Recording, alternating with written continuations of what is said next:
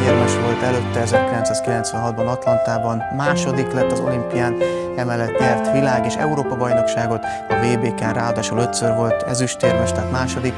2000-ben és 2002-ben őt választották az év legjobb férfi sportolójának Magyarországon.